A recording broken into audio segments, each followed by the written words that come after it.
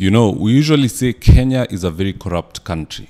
And from what I saw yesterday, even in the judiciary, we are still having corruption. And in this video, we are going to look at primarily the corruption incidences, or rather the illegalities that took place yesterday at the High Court. In the first case, we had judges trying to illegally render a unilateral verdict to consolidate all the cases, including some of which were to be heard and determined on the 24th by a team that's handpicked by the Chief Justice herself. They tried to take all those cases and listen to them yesterday and render one verdict, in other words, consolidating the cases. This even forced advocates like Teresia Wairimu, who was watching the TV like every other Kenyan, only to hear her case mentioned, and it's not meant for that day. She had to rush from her home in Kirinyaga, get in a vehicle all the way to the court to ask politely, What kind of nonsense is this? Why are you mentioning my case? And I am not informed. Here's the tip. The, the issue the issue was that, uh, and I've also talked about it, we were never informed. And any petition, any case that will be given direction, so long as I'm late, so long as there's a petitioner there, I have to be heard. And that is the law. And there's nothing new I'm saying. This is the procedure all advocates use. Why is it that I'm being ignored? I'm being notified 11 a.m. watching television and I was very eager like any normal Kenyan. I see my petition being mentioned. I was very angry, but I decided to take a vehicle from Kirinyaga County quickly to come before this court and inform the court that that is not fair. That is not fair and Article 50 has been violated. And this being a constitutional court, kindly kindly allow us to participate fairly. You know, anytime there's a discussion on the dining table and you are not present, it is you who is on the menu. So it's a good thing that Teresia rushed there to ask the same judges face to face, What are you doing? Why are you mentioning my matter without informing me? I'm not even aware. The second illegality that took place was Deputy Chief Justice Mwilu selecting the three judge panel that was to render a verdict yesterday. Yet, as per the constitution, she doesn't have such powers. That is the role of the Chief Justice of Kenya. It is the same way we have a deputy president, but it is President Ruto who is in charge of the armed forces of Kenya. That role is not shared. So why did Deputy Chief Justice Mwilu take advantage of the fact that Martha Koome is out of the country, so I hear, to begin forming illegal panels? That is food for thought, and here is Wakili Ndegwa Njiru raising the same matter. Roll the tip. Under what circumstances the Chief Justice, the Deputy Chief Justice, authorize you to sit on a Saturday? Under what circumstances did the Chief Justice herself, Deputy Chief Justice herself, sit at night, in the wee hours of the night, ungodly hours, and constituted this bench?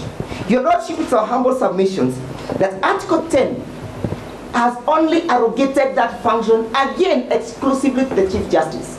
And that the Deputy Chief Justice has no power under Section 10 of the High Court Organization and Administration Act to, to, to order you or to authorize. Even Wakili Danstan Omari raised hell over this exact same issue. Here he is.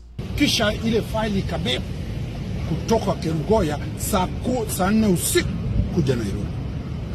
Ilipoletwa, naibu wa chief justice ambaye hana nguvu za kisheria za kuweza kufanya impanelment, sababu hilo ni jukumu la chief justice peke yake.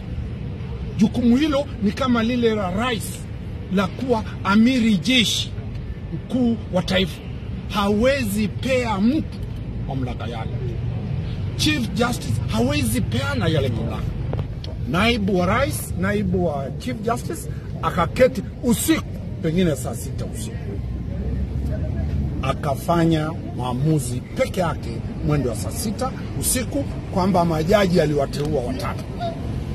Wale majaji wakaketi siku ya Jumamosi. Aliye hapa ni wakili Nyaberi ambaye ni church elder wa kanisa la SDA. Tuliweka kesi kotini kupinga bunge kuketi siku ya Jumamosi. Majaji hawa watatu wameketi siku ya Jumamosi bila mawakili wa Gachagua, bila kuzingatia uhuru wa kikatiba wa kuabudu article 32.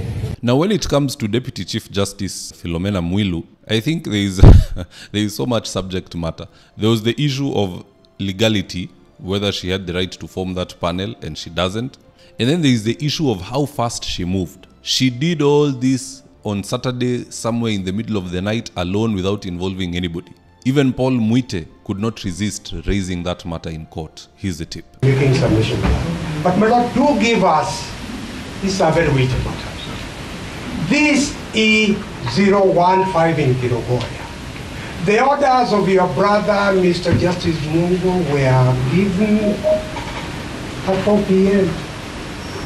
Where did the file come from Kirinyaga to go to the Deputy Chief Justice? It is two hours drive from Kirinyaga. When did the Deputy Chief Justice sit in the middle of the night on Friday? To give directions. Permit us, permit us to articulate these issues for the sake of the nation. We're not just dealing with the removal and the challenge to the removal of the deputy president. We are dealing about the president that will be set for the removal of deputy presidents in future and the removal of president in future. But all in all, justice prevailed and the three judge panel disbanded itself. This in turn led to the president asking that this matter should be heard once and for all by the Supreme Court. In fact, it's the very first time that the president has directly gotten involved with this matter. And in the next video, I'll tell you why the president is asking that this issue should go directly to the Supreme Court and should not be handled by the High Court. But all in all, yesterday we saw a lot of illegalities. You know, Gachagua's camp claims there was illegalities in the National Assembly and in the Senate where they rendered a verdict while Rigathi was sick and not able to be present for that. So they're going to the courts to seek justice, but the very court is also a breeding ground for illegalities. It's very interesting to see what happened yesterday. But uh, in the next video, which I'm doing right now, uh, hopefully you'll stick around for that. I'll be looking at why the president wants this case to go directly to the Supreme Court and not hang around at the High Court level. At the end of the day, guys, that's all I had for you today. Do let me know your own comments in the comment section below. I'll do my best to read them and to give you a response. And in the event you're here for the first time, please go and hit the subscribe button. And if you're watching from a different platform, just head on over to YouTube, search for David Wafula. Hit the subscribe button. You're going to be getting a ton of content of this nature. If politics is something you're passionate about, this is definitely the one channel that you really, really need to subscribe to. All right, guys, adios.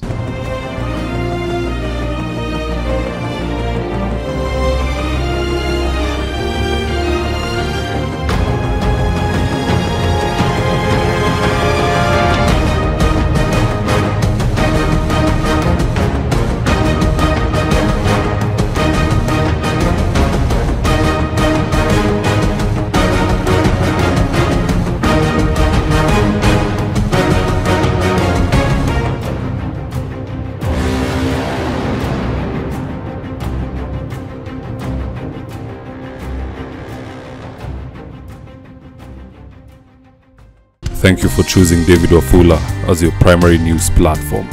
We put countless hours in research, recording, and editing.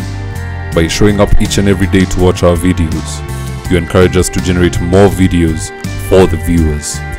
We are on a mission to inform, educate, and build a better tomorrow. To our thousands of followers in a world full of presidents, kings, and queens, you are the real gem. Adios.